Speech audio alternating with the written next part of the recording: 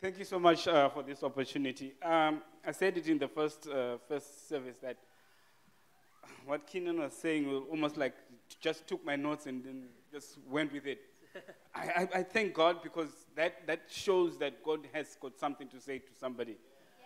Yeah. Um, I'm coming from Luke chapter 5, verse 4 and 5. Now, when he had left speaking, he said unto Simon, Launch out into the deep and uh, let down your nets for a catch. And Simon answering said unto him, Master, we have toiled all night and, and we have taken nothing. Uh, nevertheless, at thy word, I'll let down the net. Father, we thank you for this word. Thank you, Lord, for the hearts that you're going to touch and change. In Jesus' mighty name we pray. Amen. Uh, guys, it's, it's awesome what God does. You know, uh, when, when Pele was, was leading us in prayer just earlier, inviting Jesus into your life, I just got taken up to say, God came down to earth to actually die on the cross for you and me. It's like launching into the deep, what I was going to talk about, launching into the deep. Jesus himself launched into the deep. When he came down to earth, he was launching himself into a place so that he could come out with something. Now, when on that day, Peter and his other business partners, these guys were fishermen by, by, by, by calling, maybe let's call it that they were fishing and they were not fishing. Because what they did that night, they toiled all night and they didn't get anything. And, and in the morning, they start, they're doing their laundry, washing their nets. Jesus is walking by and he's doing what he does. He's no longer the son of a carpenter, now he's a preacher man. So he's preaching to people and people are thronging him. Then he thinks, oh, let me, let me, let me, let me, let me get a, a, a podium. He goes to Peter and says, can I use your boat?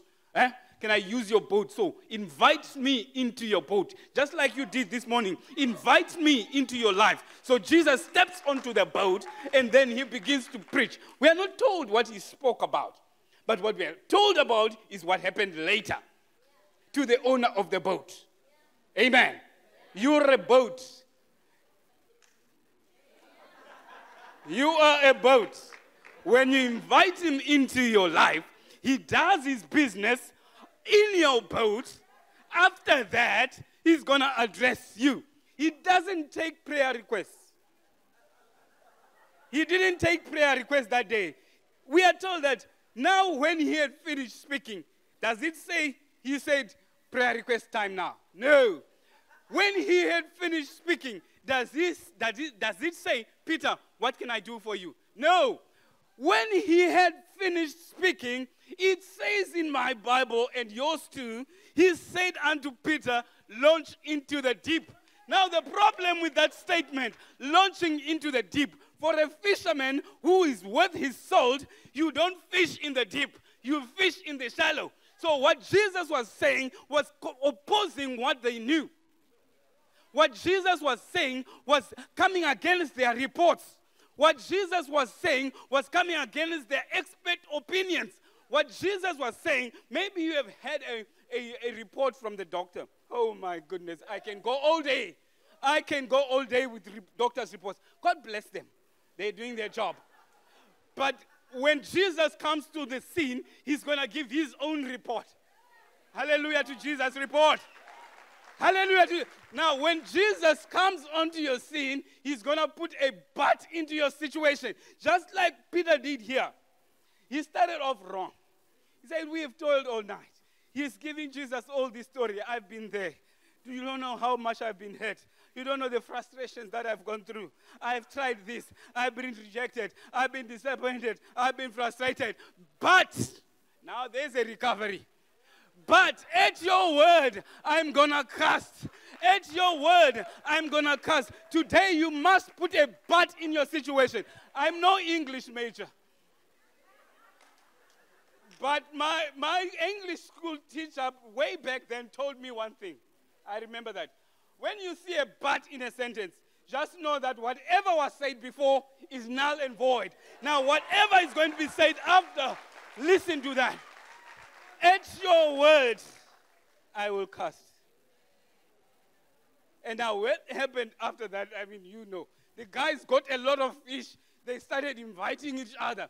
These guys who had a history of not getting any fish in deep waters got fish in deep waters. Why? Because when Jesus says, launch into the deep, he is the creator. That word commanded the fish to run into the deep. Whichever fish, wherever fish they were, they just said, hey, the master said, into the deep. Sometimes, sometimes, you see, the, even, even at that time, fishermen fish at night. Jesus came in the morning and he gave them an instruction to go fishing in the day. An expert would have told you, now, look, you're a carpenter. We do fishing for life, for living. You don't get fish in the day. And I'm telling you, no matter what they've said about your time, like what that time, what she's saying to me. I'm telling you right now, when Jesus says go fishing, launch into the deep, you launch into the deep. Now, the issue here is you need to respond with your life. You need to be obedient. You need to be available. Peter's boat was available. You are available. Are you? When you are available, when you are there, Jesus can then get onto your situation.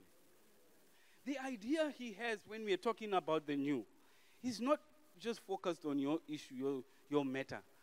He's not even going to call a prayer request for that matter. He will deal with it. What he's after is the harvest. He's going to. What happened later is what I was talking to Kenan about. It was the day, this was the day that Peter, after getting the biggest business of his life, dropped everything and said, I will follow you. He gets the biggest deal of his life. This is business. Business is now good. And he says, I'll follow you. And that day, his life was changed. Jesus wants your life. He's after you. But more than, that, he's after the next person. God bless you.